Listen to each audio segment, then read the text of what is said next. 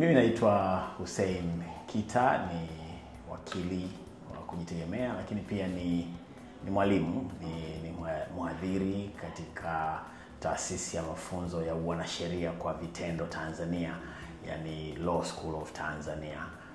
Kwa hiyo kwa utambulisho, huyo ndio mimi, lakini uh, labda kwa ufupi tu kuhusu mambo yanayohusiana na, na pesa uh, kuchezea au kuharibu e, sheria kwa mfano sheria ya kanuni za adhabu au penal code uh, sura ya 16 ya sheria za Tanzania ina vifungu ambavyo vinakataza eh, vinakataza eh, kuchezea pesa katika namna tofauti tofauti. Kwa mfano eh, kwa upande wa wa noti eh, kuna kifungu kinakataza kuharibu noti. Hichi ni kifungu cha 332 a eh, a kubwa eh, inakataza ku kwa lugha ya kizungu wametumia pale, wamesema defacing.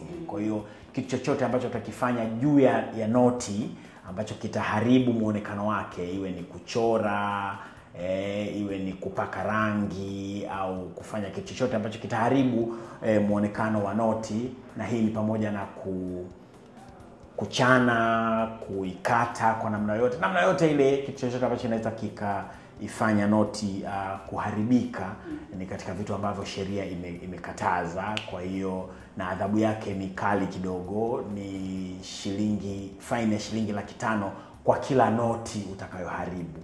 Kwa hivyo kama ni noti ya shilingi elfu kumi moja ukipatikana na hatia, adhabu yake ni faini ya shilingi laki tano au kwenda jela mwaka mmoja. Kwa hiyo utaona sasa, kama mtu amekamatwa amechanachana noti za shilingi laki moja e, adhabu yake ni shilingi laki tano kwa kila noti, unaweza kuona ni serious kiasi gani. Lakini kwa upande wa sarafu e, yani coins, na kwenyewe pia kuna kuna makatazo ya jinsi watu wanavyo wanavyo uh, zitumia au wanavyozitunza. Kwa mfano una, kuna, kuna kitu kinaitwa kuna kosa linaitwa clipping of a coin. Ukichukua coin ukaiclip, labda umeikata, watu wanajifanya ni labda mtu ni, ni, ni msanii sasa yeye E, ni, ni hodari wa kutengeneza maumbo mbalimbali, ukasema ngoja mi nichukue e, sarafu ya shilingi mia moja nitengeneze kidani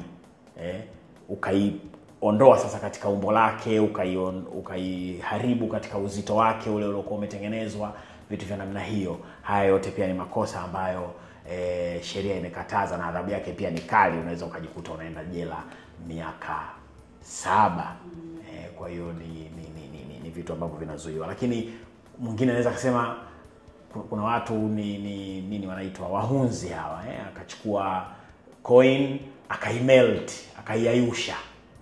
Ili kwa sababu yoyote ile eh, kwa hiyo kumelt pesa eh, au ku, kutengeneza sura nyingine juu ya, ya, ya, ya hiyo sarafu.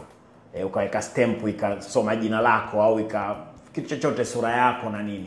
Haya yote pia ni makosa ambayo yana sheria. Sasa hii kuchezea sijui kwenye kutunza kwenye sherehe na nini uh, sheria haijasema hai wazi kwamba labda kutunza au ku, ku spray ni, ni, ni kosa ama la, lakini sasa kama katika kuspray kwako huko kutai haribu kwa mfano kama ni noti ikawa defaced ikachanika ikaingia kwenye maji ika vitu vya namna hiyo, basi unaweza ukajikuta umeingia kwenye makosa hayo ya ku, ya karibu fedha.